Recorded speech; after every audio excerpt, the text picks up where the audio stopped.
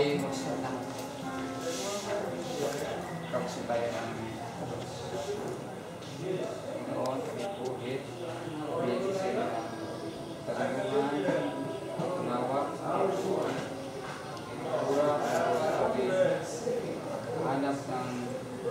pura-pura sa inyo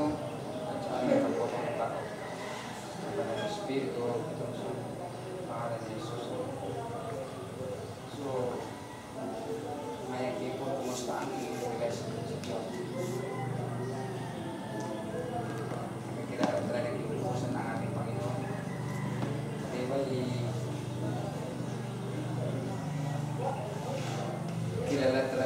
Talaga si Jesus?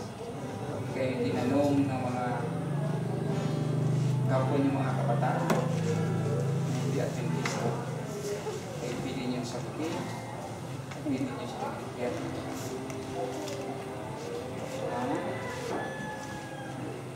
Sino na sa inyo ngayon ang may relasyon bilang sa kaibigan o meron na kayo mga special friend?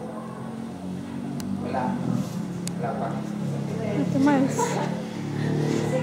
Tá Aham. Preguiça.